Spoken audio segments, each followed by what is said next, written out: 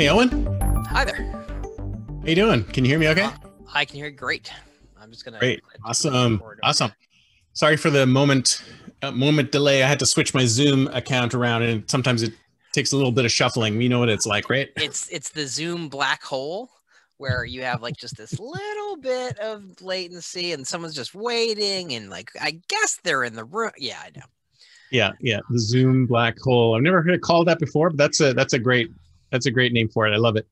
I made it up just so, now, so it's convenient. I'm writing that down. It is becoming something I'm going to use every day. I love it.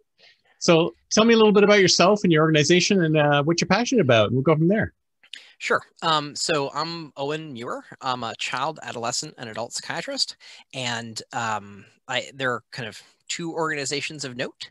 Uh, one of them is the medical practice that I co-founded, Brooklyn Minds Psychiatry, mm-hmm. and mm-hmm. the other is Sphere, which is a new kind of insurance company or third-party payer, essentially, for vertically integrating mental health payment models with uh, care delivery in the highest risk vertical. Did you say fear? F E A R? Yeah, Sphere. Oh, in, sorry. Yeah. What a crazy name for an insurance Welcome. company. I mean, actually, it's a pretty accurate name for an insurance company. We're terrified bad things will happen. This is how we hedge our, our against existential dread. I can see the I can see the ads up against Geico. Fear. yeah.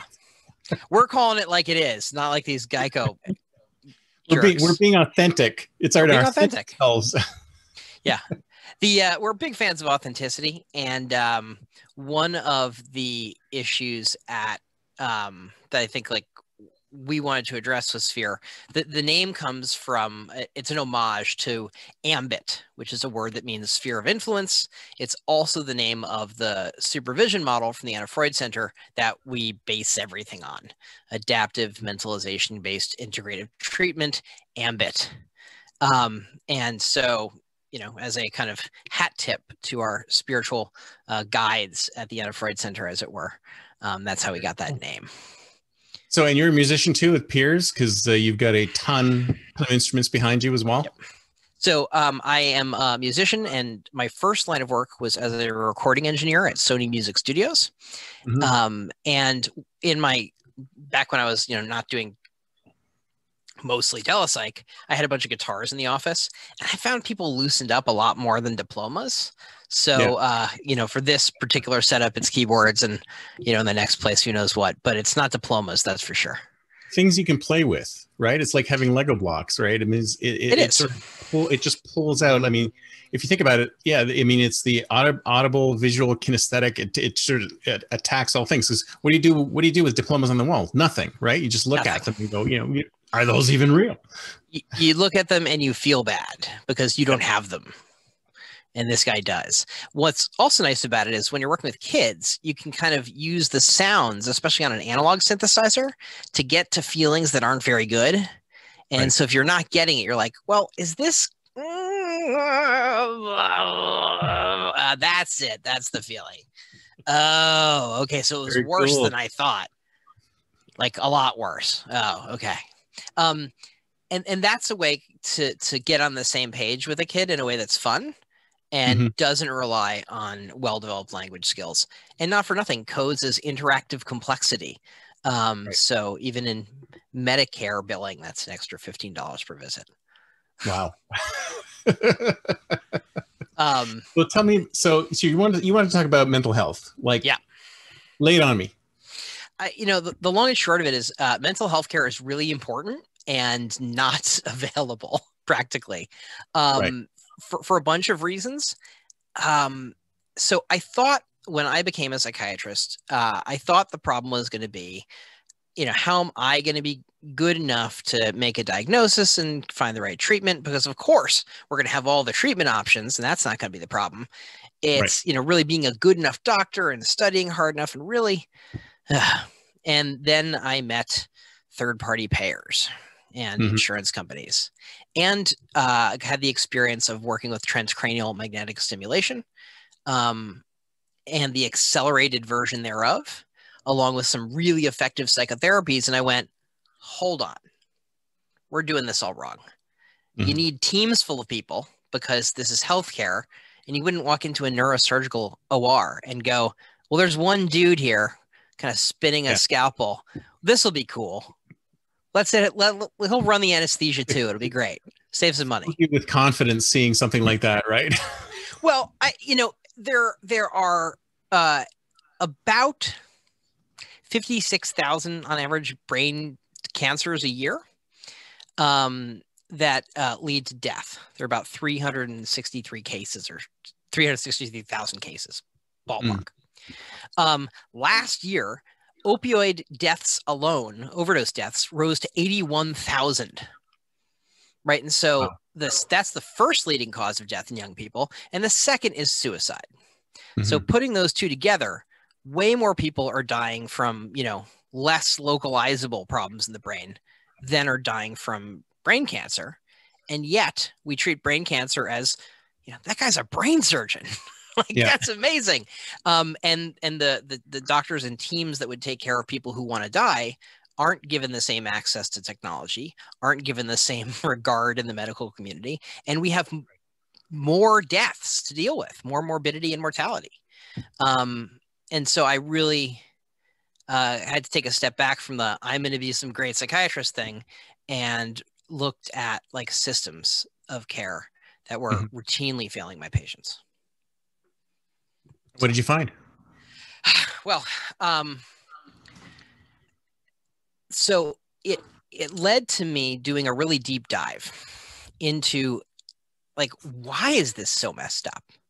So we started pushing on the system in ways that are a little bit like Neo in the Matrix. Like, what happens if you stop believing the spoon is a spoon? Walls start so, bowing in, right? Yeah. yeah well, yes. Right. So d- the the insurance company denies coverage for a drug, and the mm-hmm. patient meets medical necessity criteria.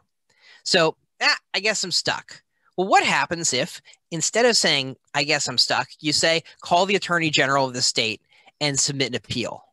and then right. submit another appeal and then submit another appeal and then submit another appeal and then get to external appeal and have a committee of external independent reviewers review the data and agree with you that the treatment you're prescribing is medically necessary. It turns out not only do the insurance companies have to pay for medically necessary treatment, they have to pay for it in retrospect, they have to pay my full rates.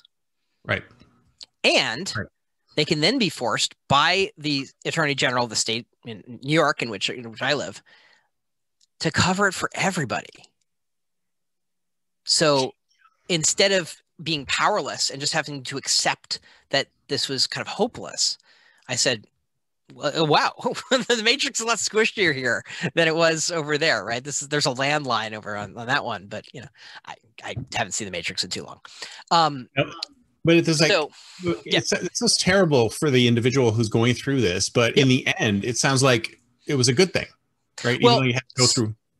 So we had to go through all sorts of rigmarole, but our patients got the care they needed on average. And right. You know, we said, look, we're just going to do this and see what happens. We win eighty percent of the time. Mm-hmm. Mm-hmm when yeah, we, it's obvious, right? I mean, it's it, but it's like, why can't they make the decision at the very beginning? I mean, what's stopping it? Like, who is with the insurance company? I mean, don't these guys know what they're ta- doing? I uh, mean, y- yes, yes, they do, and and we've worked rather closely with some third party payers. Cigna is a good example. We're in network with Cigna. The entire practice is in network with Cigna because mm-hmm. I angry tweeted at their at their Twitter account. they, we had some uh, like Twitter is the secret weapon of healthcare because it's, isn't it? It's like you use all of their regular channels, nothing happens. Nothing. But if soon you tweet dead. something, it's like bam. mm, I got a call at 8:55 in the morning from a medical director at Cigna, and I was like, "This the workday hasn't even started yet." Maybe I should actually listen to what this guy's saying. And I, I, I reviewed the email I sent after the, it was embarrassing. I was very mm-hmm. obnoxious. I'm, I, I apologize to this day. Um, and so I don't know that it's ill will. I think there are certain really important to understand factors that make it so effed up. The first of mm-hmm. which is legally, they have to act in this totally bizarre way, which is we made it the law as mm-hmm. the you know lawmakers in America mm-hmm. that insurance companies, health insurance companies, have to have a cap on their percentage of profits. Hmm. So they can only make 15 to 20% profit margin. Mhm. What that sound, oh, we're keeping the robber barons away. How do you make that Right. number go up? Mhm. This is a basic math question I'm asking you. Me? Yeah. I'm- how do you, if you can only make 20%, how do you make more money? Uh, I don't know. If you can only make tra- you have to prescribe more, right? I mean, you've Yeah, got to do more. Yeah, Yeah. make the number go up. It's not that's not hard, right? Um, if there's more expense, you'll make more. Twenty percent of more is more. Yeah. Um, and so they figured out ways to do that, and they legalized graft and kickbacks. We call that Mhm. pharmacy benefit managers and safe harbor laws. They made it legal to pay the CEO of a public hospital more money in his pocket or her pocket or their pocket if Right. they buy more expensive medicines and supplies all from one place. That's called a general purchasing organization, providing mm-hmm. a rebate to a hospital CEO who gets gold status by buying 80% of their stuff or more from that one distributor. So Right. normal saline is $1,000 a bag for salt water. Jeez. Epinephrine, $1,000 a, a dose. Like right. ancient, as old as we Why, get in why, medicine. did we- why have we made this all so complicated? I mean, who's behind all this complication? Is it just people like what's that? Us. We are. our We're- we're law our lawmakers on purpose. Oh, our lawmakers okay. passed laws that th- I mean it's complicated right 20% sounds like we're they're not making uh, obscene profits we wouldn't want that Yeah. they're just Yeah. charging obscene amount obscene amounts to make more profits but the same Right. percentage Mhm. so that's a natural consequence of choices we made as an elected government and you know lobbyists working on that Right. but So everything goes that. back to government, basically. So it, it, it's funny because that, that seems to be a, a case of, of like if you keep following the threads of almost all the problems we have in society, we get back to the point where some lawmaker somewhere has done something that you know sounded good, but then Mm-hmm. you know once you follow it all the way through and you look at all the unintended consequences, it's ended up with sort of disaster for a lot of people. Yes. Yes. Yeah. And and this is really a you know people are really good at figuring out stuff. Like you give them the the rules and they'll play by them. Oh yeah. And when you make the rules just a little bit wrong, things can go really off the rails. Mhm. And for example, mental health care, if you do it right, that reduces costs in the system. Uh oh. we better not let that happen. So, um, we make any money out of it if it Well- reduces costs in the system. exactly it's only gonna it's only gonna lose us money to take great care of people. Yeah, of now there's some there's some f- sections of the market where that's not true because not everyone is covered by a fully funded insurance plan where this holds true. Mhm. um, and some people are in uh, are are poor essentially and are dual eligible medicare or medicaid. They're sick and they're and they're they do not have resources. And for those individuals it makes sense to save money because all you're doing is essentially burning money Right. um, when you don't address problems and in in most not most but like 95 million americans are covered by insurance which is actually paid for by their employer Yeah. and they want their employees to be well and back to work there's insurance on those insurance plans this is where so it's called reinsurance and stop loss insurance that's what's called the secondary insurance market keep in mind i'm a psychiatrist trying to get my patients care covered Oh no, no, no! But you have to be fully Right. versed in all of this, well which is it, insane. right so um, i teamed up with with people in in healthcare broker land um, and some of the healthcare hackers essentially there's a group uh, benefits dna and the uh, the um, the Ro- the healthcare rosetta uh, crew essentially and they are dedicated to kind of having a fiduciary responsibility understood in their role as health insurance brokers uh, similar to how you would have a financial advisor have a fiduciary responsibility to actually give you good advice. And they both work on commission, right? And so if you you Right. If the, they get more commission for doing a crappy thing, they're not acting in your best interest.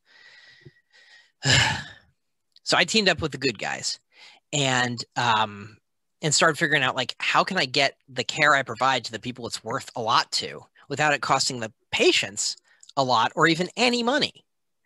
And it turns out like it's cheaper to take great care of people and charge them nothing than it is to do it the other way around.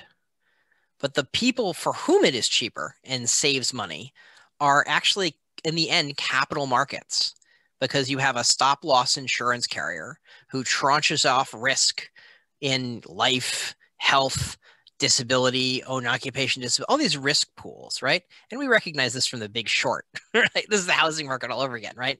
Yeah. yeah. Those high risk uh, mortgages. Um, we do the same thing with health insurance and life insurance and disability. And we sell it off to Berkshire and Cerberus and other capital management companies. Um, and so what really we realized is like looking at the array of healthcare expenses, the only meaningfully modifiable sources of long-term disability, and you know, your leg is crushed, it's crushed. You're out of work. I'm sorry. It sucks. Depression can put you out, but we can do something about that if you you know do the right things. Not if we have to ask permission for every gosh darn pill we want to prescribe. Heaven forbid using something like transcranial magnetic stimulation or good psychotherapy. Um, but it turns out to stop loss carriers it makes sense to actually cover some of the cost most of the cost of what it would take to take care of everyone in a company. Right. And it costs the, the patient's families nothing but in That's, the end, but in the end, are they actually making any money out of it? So yeah. Okay. They because so good, it, good outcomes for everybody. It's yeah, yeah. Um, the it's it's that level of kind of crazy um, that you have to get to to figure. Oh, it all makes sense if you follow the thread with the right guides. And oh, okay, this is a you know the Gordian knot can be either untied or just cut. You know, make it quick. It there is be, no spoon. Does it have to be so complicated? Is there any way to just to get through this and make it simpler, or is so, this just the way it is? So we tried to make it simpler. We've been trying for years by not accepting insurance. And that does make it simpler for psychiatrists. It doesn't make it simpler for people's health. No. And the, the turning point is with the advent of interventional psychiatry um, transcranial magnetic stimulation, Spravato, ketamine, soon psychedelic medicines, um, really effective psychotherapies, we were up against a problem, which was that to pay for those things out of pocket would be cost prohibitive. Mm-hmm. And they take teams of people to administer. And so we're looking at what looks more like a neurosurgical OR than a couch. So doing it alone and charging a lot isn't the model that makes sense to actually get people well. Right. Uh, and once we figure that out, I mean, it's it's after the fact that people have already been diagnosed, right? I mean, you're not getting to a point where you get to the point where you get okay, this is what we have to administer, right? But you well, don't talk. So, so, there's some technology on the front end too, and right okay. now that technology is time. Spending more time with someone so they can feel understood, mm-hmm. and you can make sure you get it right. So our average, my average intake in our practice is two hours. Okay. And then you ever, point, a, you ever seen a doctor for two hours in a row? No, I don't remember the last time I have. Yeah. Every one of our patients for whom that is appropriate, that's what they get. I've spent six hours doing an intake. Wow. Took that long to figure it out. Well, you are you are unique. That is different. I've never heard of that from anybody. Well, like if you don't have a diagnosis, what else are you going to do? Yeah. And we were taking the really the sickest, most treatment treatment refractory people, um, because no one would care for them, and that was that that meant something to to my my wife, who's my boss. But it sounds like you're it sounds like you're like a, a final resort for a lot of people because they must have gone yes. through other things first before they come They've, to you. On average, we are the uh, the the eh, the last stop in the journey to suffering town. Uh, hmm that people, you know, they've tried all sorts of stuff, right? They've tried the 15 minute visit, they've tried all the medications, um, they've tried with their insurance, they've tried without their insurance, they've tried scammy wilderness programs, they've tried all sorts of stuff. And what nobody tried was programs don't work. Are you telling me they don't? you, say smugly. That's a disingenuous question, my friend. Um, yeah, I am. That's what I. Well, I'm saying there's no evidence that they work. Right. Which is let different me, from saying they don't. So, so, so, the the so you've seen obviously you've seen an increase, a market increase in all of this since COVID and all that stuff happening, right? We've been busy. I mean, sorry, you've been busy. We've been busy. So, so, but it's still you're still like at the very end. What like is there something that people can do like prior to getting to you and prior to sorry yeah i mean so first off we had to figure out a way to make it accessible to get because it's not just me i have a whole team i have 70 people on my team it's huge um we're the, literally like the biggest practice any of the health tech companies we work with have ever encountered which strikes me as bonkers but um so like how do you find a good doctor right um I think the first thing for patients. Four thousand dollar question. I, I, have no idea. Right. You ask, ask somebody. You ask a friend. Ask, you ask a friend, right? I've when people like when I talk to uh, you know Wall Street Journal reporters, whatever. One of the questions I asked them at the beginning is like, so if you were suicidal, who would you call? I would have no idea who to right. call. That's insane. well, I know that there's a hotline, but I don't even know how to get to it. I don't even know what number to dial. If you have a stroke, what number do you dial? Uh, 911, of course. Right. And they take you to a hospital and there's a whole protocol, right? They yep. know what to do. Yep. It's yep. guided by evidence. They have large studies to tell us what to do. Aspirin, Plavix, TPA, blah. Within three hours, right? Sorry. They got there by gathering data mm-hmm. and doing science. So we have some of the same information. We don't collect it rigorously. And then we have a system that's totally incapable of doing any of the things that might work. I'm actually a speaker at the International uh, Federation for Emergency Medicine this year in what was going to be Dubai, but mm-hmm. sadly will be from home. Um, on pediatric behavioral emergencies for emergency medicine docs, because frankly, they're first line most places in the world. Would you call? Would you not call nine one one for the same thing though? I mean, why you couldn't could. you? You, you I mean, you, you, can. And and what happens? So you're in an emotional crisis, and who shows up? Um, medical personnel. And. Well, fire, cops, the whole Johnny shebang. Law, right? That's exactly who you need when you're in emotional crisis, right? I mean, and if you're a person of color, you're 18,000 times more likely to die. Wow. Yep. So that's not the right number to call then. And the police officers virtually all have PTSD symptoms, and half of them have full fledged PTSD after one of those shootings. So it harms everybody to do it that way. Right. In what world does emotional crisis equal armed warrior? Yeah. Apparently ours. Yeah. Um, before we had, eh, you know, EMS, there was a time when we had coroners and we had doctors. There's nothing in the middle. There didn't need to be because you're either going to die in your way or not, right? They got you there and you lived. Okay, the doctors would take care of it. If you didn't, you're already in the hearse. Yeah. Well, let's turn around. But at 911 is like a, it's like a hammer, right? It's like a bludgeon. Well, it's like everybody, come on, everybody, everybody get, you. we don't know what the problem is. Just everybody show up. We right? developed a whole system to yeah. take care of medical emergencies. We developed whole new professions. EMS, yeah. EMT, paramedics, flight mm. paramedics. It's a whole array of professionals that were essentially summoned out of the void of needing to exist. Training yeah. programs were built because it was a thing that was necessary. Once we were able to keep people alive in the field, we did it. Yeah. And I would argue we need to have the same approach to behavioral health emergencies. And what's actually, stopping us from doing this? I mean, it sounds it cap- sounds capital. so sensible. Easy. Easy capital. Okay. Right. So they took an entire profession and they kept us out of the insurance game for years. And so we mm. were private pay.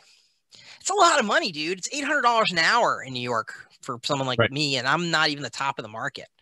Right. That's a lot. You can just sit on your ass for that. And like, so it sounds like something that, you know, Warren Buffett, Bill Gates, what are these multi-billionaires doing? They should be setting something like this up. I mean, it makes sense to me. I would love it if they would invest in that thing. Yes. And that's the argument I'm making that this makes sense to capital markets, not just goody goodies like myself. Right. So the, the technology is is really necessary to understand, you know, outcomes and be able to risk stratify and all that good stuff. but taking time to help people feel understood and showing up with sense and compassion. If you wanted to kill yourself and someone showed up with a pizza and said, Hey, let's talk, probably better. But so that doesn't sound too complicated. And I know that there's some apps out there that allow you to do that sort of thing, you know, through chat and et cetera. It's like, where, where's the disconnect between providing this sort of full, full level service and just like the, the sparse stuff that we have today? So my, my theory is essentially there are, there are a lot of health tech startups now, and we work with yeah. many of them uh, Carlene, my my my my wife and my boss, just got uh, appointed to the advisory board at Osmind. Yeah, my wife's my is... boss too, by the way. Just so we're in the same boat. um, she's great. I wouldn't want anybody else. She she's working relentlessly on making the data possible, because as much as I'm passionate about this stuff, she is too, but like much more capable. Um, so she's working with Osmind, which is a General Catalyst funded uh, startup that's doing work in high risk, high utilizing patients. She's working with Options MD, which is looking to build the referral source for treatment re- resistant depression, et cetera, et cetera. So it's pulling these things together. But what we didn't have practically was a core of doctors in the outpatient setting who took care of high risk people mm-hmm. because they go to a hospital. You ever been to a psych hospital? No, I have not. Okay. Guess I should say I, thank you, right? Right. They uh, they they exist. Um, so uh, they did a study in Germany, and I'm just going to ask you for your your sense. They looked over 15 years and saw if there was a difference between people who were hospitalized in a locked unit versus an unlocked unit. So the doors would open or the doors would not open. And they looked over 15 years and compared rates of people running away, elopement with locked versus unlocked doors, versus um, they also, I'm sorry, and also they looked at completed suicide after hospitalization. What do you think they saw? So the locked doors versus unlocked doors, I didn't see anybody. Le- I don't see anybody fleeing. They actually run away at the same rate. Really? Well, yep. I thought yeah, either they do or they don't. It's basically a, a yes. door does door being locked makes no difference. Makes no difference. That's correct. The right. locks and the doors are for the psychiatrists, yeah. not for the patients because they don't keep them in. I mean, you laugh, but there's a consequence to having a locked door. It turns out, mm. which you know this is correlation, not causation. But there's more completed suicide after discharge. So, immediately after you're discharged from a psychiatric hospital for depression, you are 212 times more likely, times, that's 212,000% more likely to complete suicide. That makes total sense. But why aren't we doing anything about that? I mean, that that makes total sense that there, that that's that's still a problem. It's like leaving the hospital doesn't solve the issue in the hospital, you're 202,000%, 202 times more likely to complete suicide in the hospital. In the hospital. Okay. Yep. So it's not meaningfully modifying the risk of long term completed suicide. In fact, it increases 30 times for the rest of your life. Jeez. And people don't trip and fall into hospitals. So saying this is like causal is not fair. But if hospitals were doing something useful, those numbers would go the other way. Yeah. Like you go to a hospital because you got in a car crash and you're more likely to live, not less likely to live. Yeah. So this is basically doing the opposite. Bringing yeah. them into the hospital makes it worse. Yes. For our nerves, it's good. For our patients, it's death. Yeah. More often. Just, it's almost like you're just protecting everybody around the patient, not the patient themselves. Um, you, I, if that. Which is not to say there aren't times when mental health conditions can be tremendously impairing and hospitalization can be life saving. It right. can. But counterintuitively, in aggregate, it turns out to not matter a damn whether we hospitalize people or not when it comes to completed suicide rates. Because if you look at like pre and post deinstitutionalization, we had 60,000 people living institutionalized at Pilgrim State Hospital in Long Island. And in well, a is year, it, is, it, is it the is it the hospital itself? that's the problem? Is it a location? Is it no to their current location? I mean, have we done more research on what it is about coming to the hospital that's causing it? So we don't. You, that research is tremendously difficult to do.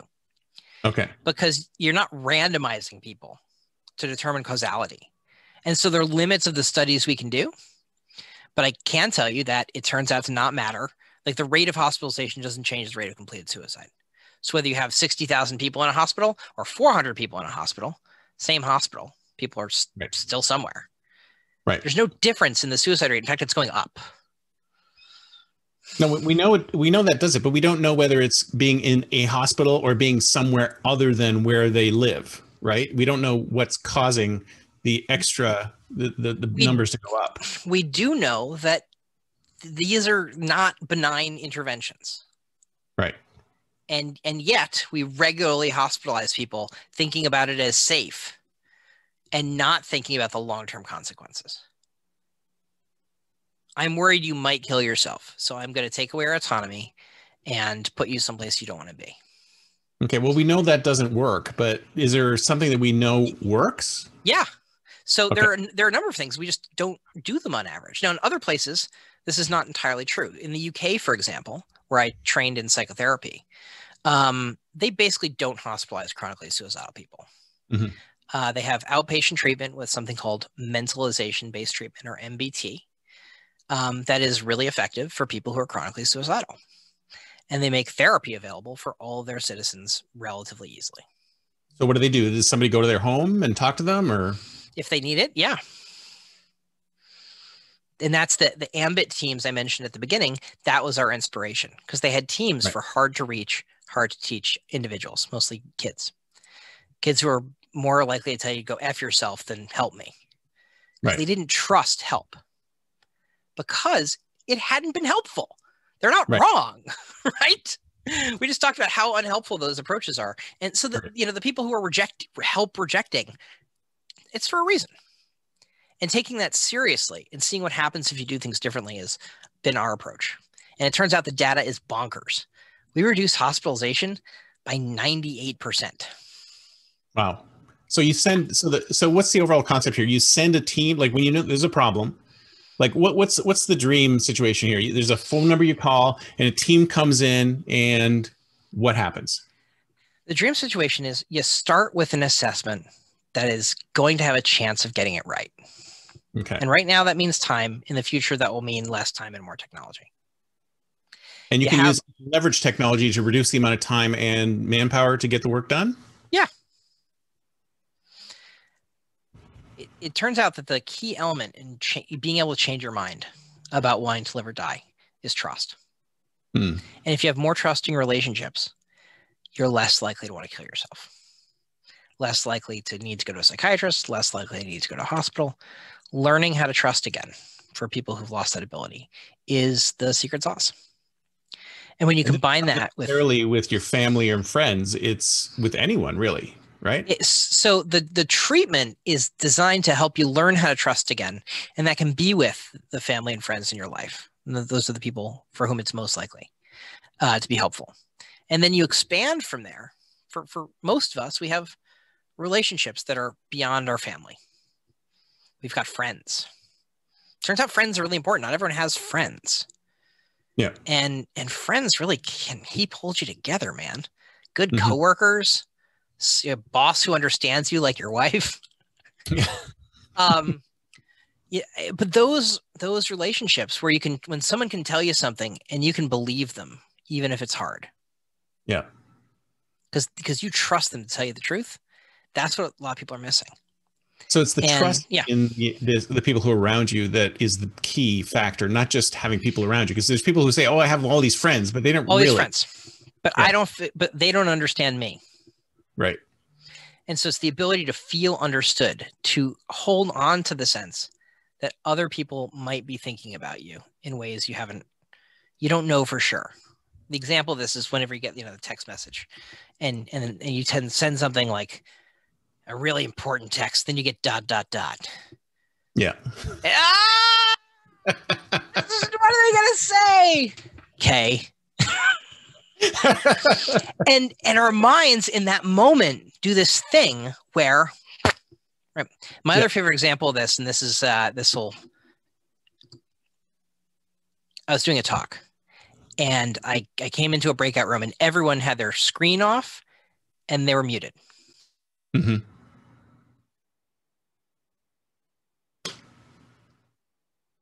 Okay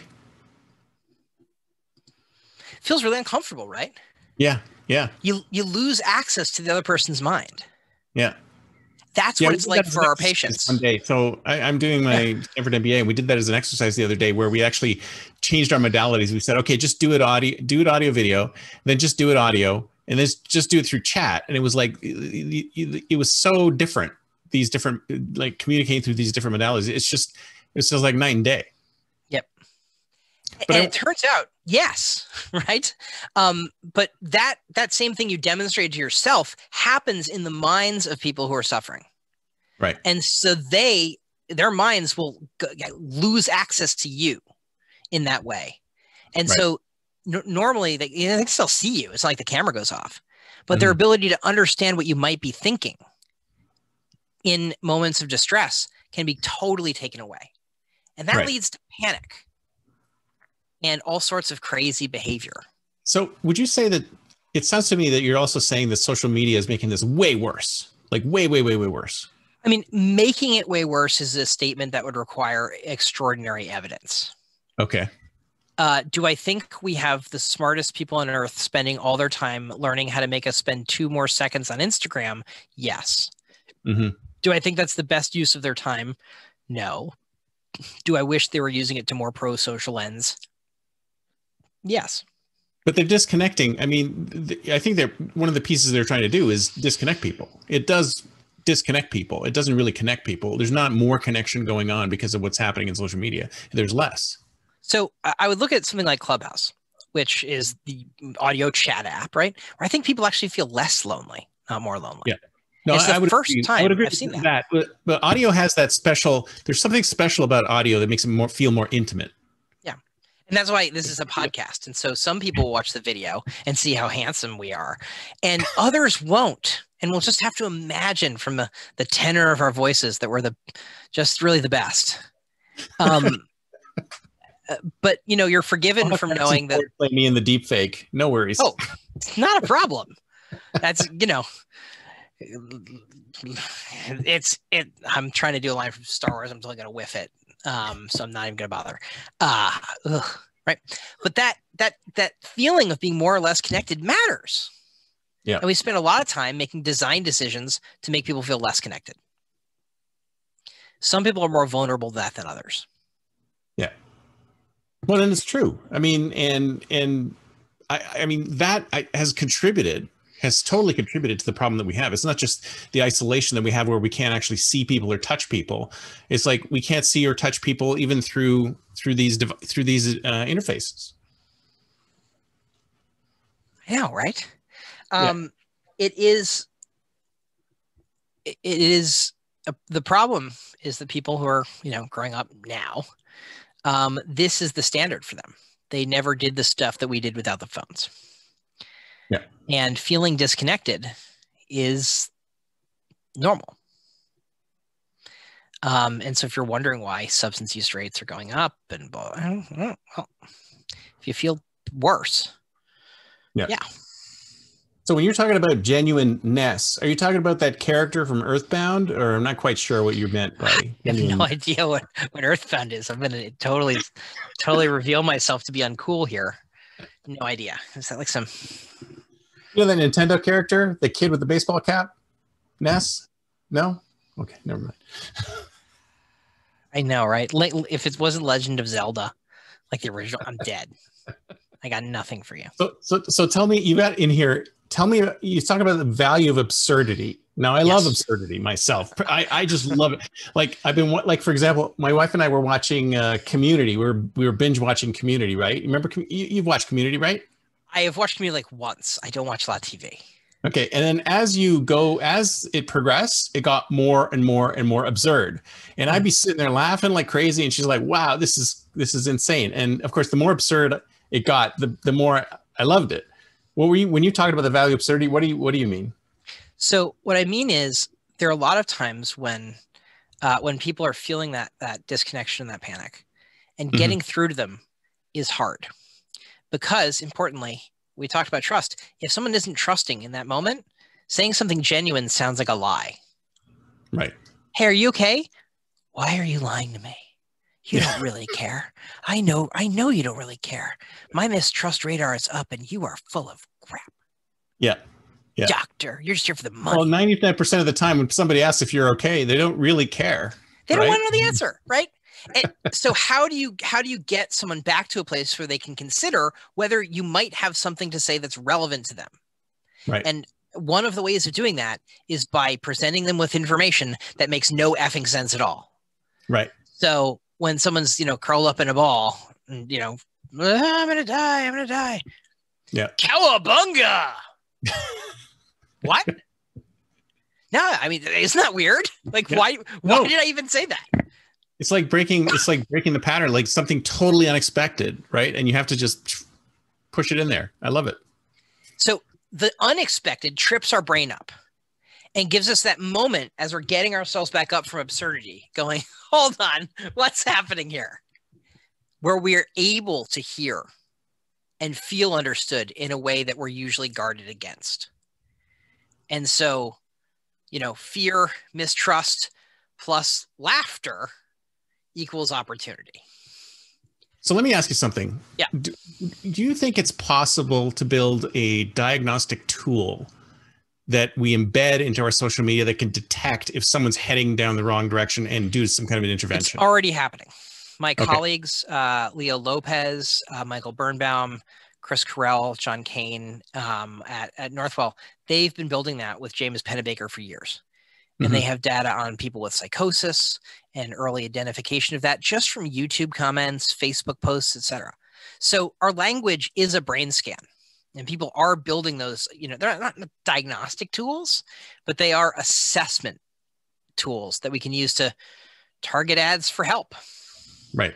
But we can have we taken it like where does that where does that sit today? I mean, is it working? Is it's, it up, it's, it's not it, it's it's research only. Okay.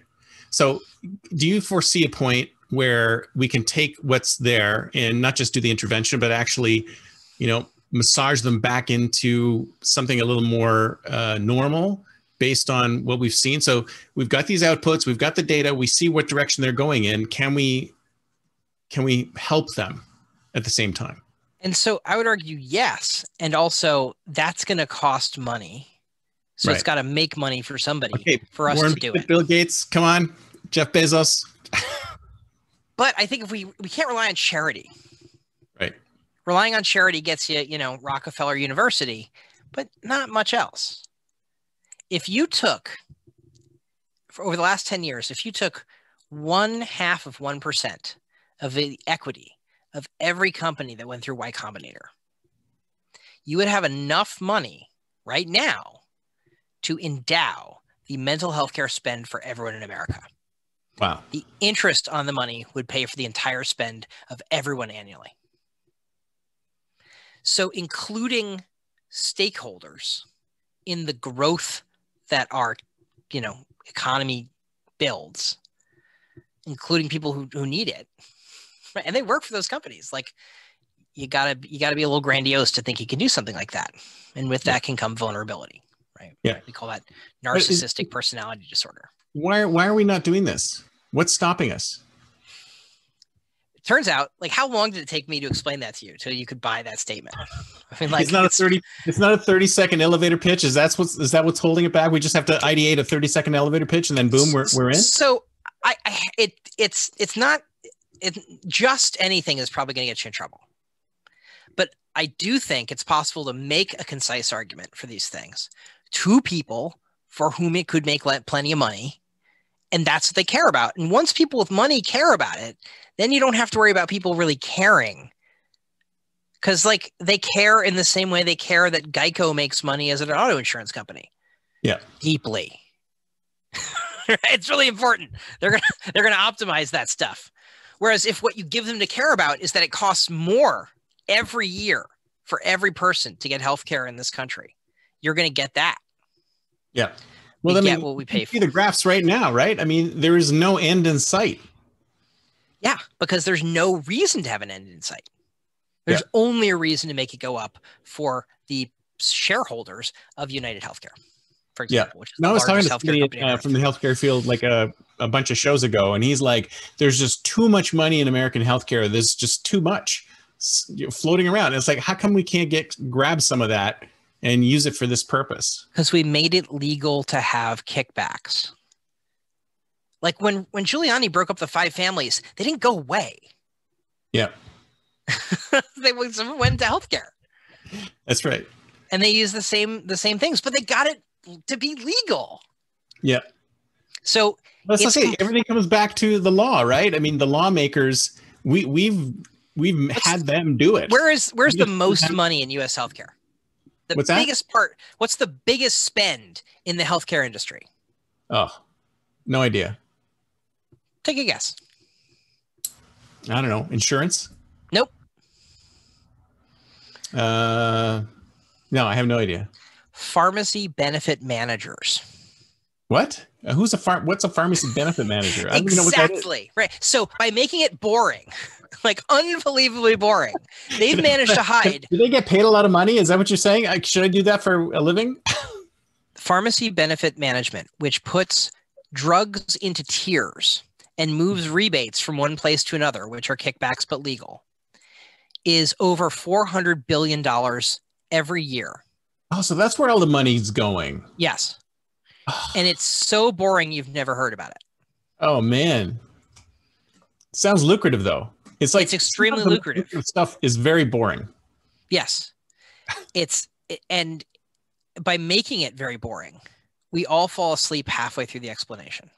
Mm. And that mm-hmm. means no one's ever going to catch them because we just go, this is complicated. Those doctors are greedy. Yeah. They're probably getting a kickback. yeah, we're not. but plenty of people are. Those kickbacks are pretty sweet.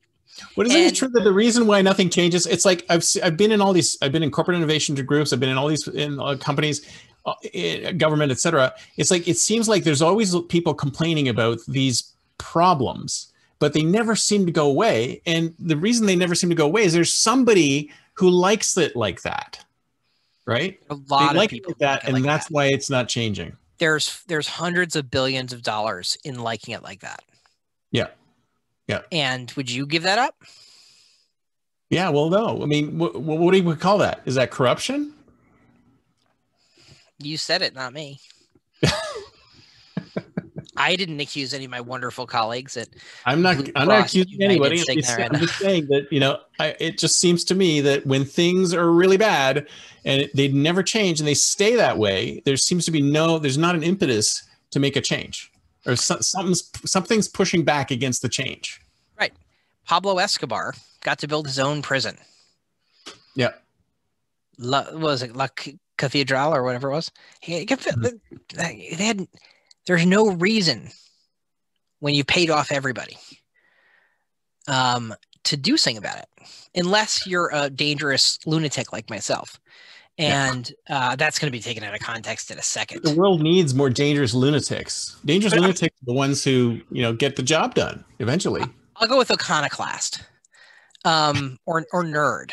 But have you heard this explanation of how it works before? Never. This really? is old new. This is new to you. You're yeah. rolling with it like like it's not like you had some sense. No, really? No, it's nuts. I mean, I'm just saying that the, the, the, concept of stuff always there's so many people who complain about so much mm-hmm. and then nothing ever ha- changes. Nothing ever happens. And the reason why nothing ever happens is because people like it. There's too many people who like it the way it is. And there are too many explanations that are simple and incorrect for people to get upset about. Right. But then doctors are greedy. Occurs unless some crisis were to trigger it. I mean, it's the same like what's happening with COVID, and and and so many crises, so many changes never happen unless there's a crisis. So, what kind of crisis do we need to make this happen? COVID nineteen.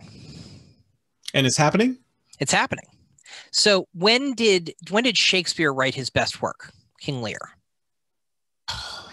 The Globe Theater was closed during the plague. Mm-hmm. When did we invent calculus? Isaac Newton was living with his mom in the country for 18 months because he had to get out of town because of the plague.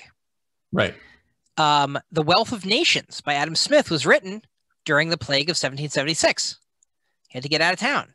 Had nothing to do but write a 700 so page economics book. Is that COVID 19 is going to be is going to spawn a ton of innovation that we haven't even we haven't even imagined yet.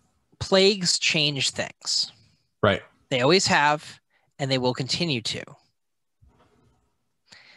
That's my contention. And if anything's going to change stuff, it's the tectonic shifts that happen with a plague. Right. So really, this is the best time to leverage this to make great change occur. You betcha. I love it. So where are we going to be in 10 years? Tell me, the year 2031. um, in another plague. you, you think there's going to be another? Uh, uh, absolutely. Yeah. Well, no, no, there's going to be another one, but is it going to be as bad as this one? Is It'll going to be be worse. disruptive enough? It'll be it, easily. It's going to be worse. Really? Yeah. And why why is it going to be worse? What what's going to make it worse? Uh, because this is not as bad as it gets, right? No, Uh, Ebola is much more fatal. Oh yeah. There's there's there's a lot worse out there. I, I mean, I was shocked. I live in New York City where COVID first blew up, essentially in the US. And I was shocked that more people didn't die. Yeah. Like I made a, po- I've been making a podcast about this the whole time. And Mhm. I, I made a podcast, you know, a couple in the beginning where it's like the wave is coming. It's going to be 53,000 people dead, you know? Yeah. Um, didn't happen. Not quite.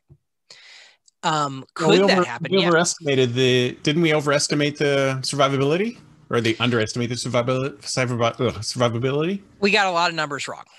Yeah. Um, and we we we modified some in ways we didn't expect, and others we did a worse job of. Um, so this is bad and economically disastrous, but it's not as deadly as it could be. Yeah. And it would, you know, it's going to cost real money to prevent their the next plague. You have to actually care about people who we don't care about now. But if we okay, if we prevent the plague, so so so let's let's project. Yep. 2031, 10 years from now, are we going to be in the middle of another plague? Are we going to be back to smooth sailing? Is everyone going to be back to normal? What where are we going to be? Um, oh, I hope I'm going to be in uh, somewhere nice, drinking some non-alcoholic beverage, maybe 40 pounds lighter because I've got enough exercise. Uh, there will have been advances in healthcare that let me sit back and let an AI version of me uh, be therapeutic across the board for people who desperately need it. Right. It's just going to be like hundreds you're- of versions you're of actually working therapists. on something like that, aren't you? Yeah. I think it starts with payment models because until Right. until we can get it to be worthwhile to someone who's actually going to care about the money part, I don't think it works. I don't think you can count on like- people's okay, goodwill. Something like Uber and Airbnb, they just like pushed in. I mean, it wasn't legal to do a lot of the stuff that they're doing. Is there any Uh-huh. way we can just push in to this to this market and do stuff that's not necessarily legal but still effective? So, uh, it in healthcare, doing stuff that's not necessarily legal is a bad idea because we have licensing boards. We can do things that are not reimbursed Mhm. traditionally and people- figure out ways around them. pay for it themselves. They can do it. No. Okay. That there's not enough money in that. I think we need disruptive investment. Investment that looks at the system and goes, just like they do with Uber, right? Cabs are not the best way to hand this isn't the best technology forever to go somewhere. Um, and so, you know, what how do what is- what is Uber? What's their business? Well, they're uh, they're not a they're not a car company. They're more of a, uh, uh, ride sharing, right? So it's I've got What's they're what's the they connect people with technology? Cars. Mhm. It's a marketplace. Yep. It's a marketplace. It connects demand with supply in a way that comes up with a price that is makes it make sense to have more people drive when there's more demand. Yep. They fixed a market problem. Why is your copay $20 all the time? Whether you're sick or well, whether you need it or don't, same amount. I have no idea. I thought copays were just uh, a nuisance amount to keep keep people from using the system too often. It turns out that you keeping people from using the system too often is not always a good idea. No, Some but I people- thought co-pays what for? They were for yeah, it is, it is what they're for. But that's like that's like saying every car ride should be ten dollars. Well, yeah, I mean, obviously it's not, it makes no sense, but I mean, it, it is there to reduce usage. Unlike, I mean, I, I'm originally from Canada, so I know the Canadian healthcare system. Plenty of people just go to the doctor to talk. They don't want to be diagnosed with anything. They just they just want somebody to listen, and they don't pay anything, right? There's no copay. So you know, uh, there's lots of doctors who are overloaded with with appointments, and that's why it takes forever to get an MRI. But But there's dynamic th- like there, it used to take forever to get a cab. Now I can get an Uber in under ten minutes. Yeah. So it's not that different. Is is there a solution? Uh, yeah, the payment models and care. So we, we got to build Uber for healthcare. Right. In that, we need to get people to places they didn't know they needed to go. Right? It's a little bit different. Um, the cars need to drive better and safer, and they have to come when you need them, where you need them, and it has to generate value for the right people. So is it as simple as uh, like an Uber for therapy? Um, when you say simple, Uber is not simple. Uber is tremendously complicated. No, no, I mean the but the overall concept is like connecting, you know, think it's teams probably of Closer, yes, with- yes. Mhm. Okay. if if driving was a team sport, then Right. then that's a, that's fair. I think looking at it like Tesla. So Tesla built their first thing, an electric car, but they put a bunch of sensors and cameras in it. So it turns out they own 95% of the data on autonomous driving because they have 500,000 scanners on the road that people have paid for and are driving around. Yeah. And, and I think we would need to do the same thing with therapy and then build the dynamic pricing models that distribute the cost and value to the people to whom it makes the most sense in a way that incentivizes people to do good, difficult work and innovate. I love it. I want to sign up, but I don't have any money. you just need the big you need the big bucks for this, right? Um, the big bucks are going to help um, a lot because that that's how you know for Uber to work, right? They had to tolerate. I Probably to this day, I don't even know if they've still made a penny like in profit. It's worth sixty billion dollars, but it's never made a profit. Yeah. They want to own the entire network worldwide. Yeah. Yeah. All the cars, right? And that's an investment. at- we have to look at this in the same way. Is that it doesn't necessarily pull a profit, but you think of the upside, the good it'll do.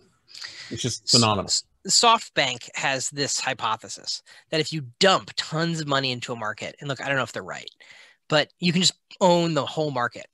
There are only 38,000 psychiatrists in the US. Hmm. You could employ all of them. I didn't realize there were wanted so few. That's insane. Yep. Only about 6,500 practicing child psychiatrists. You could just roll it all up if you if you had billions and millions. Yeah. Right. The entire market for transcranial magnetic stimulation is 818 million dollars. Wow. in size. So, for comparison, uh, psychedelic drug development company MindMed is worth over a billion, and they've never made a drug yet. Wow. Amazing.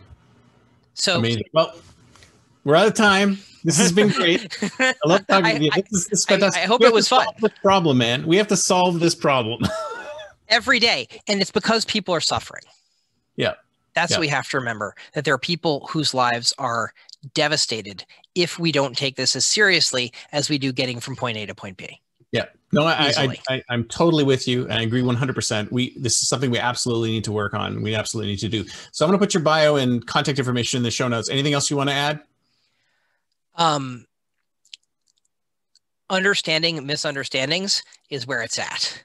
Um, so the next time you get the dot dot dot in your life, imagine maybe they're thinking about what to say because they're thinking about me, not oh my god, they're going to hate me. Uh, And you'll find when you replace exclamation points with question marks, things in your life get easier. Ta-da! Absolutely. Thank you so much, sir. It was great talking Thank with you. you. Talk to you soon.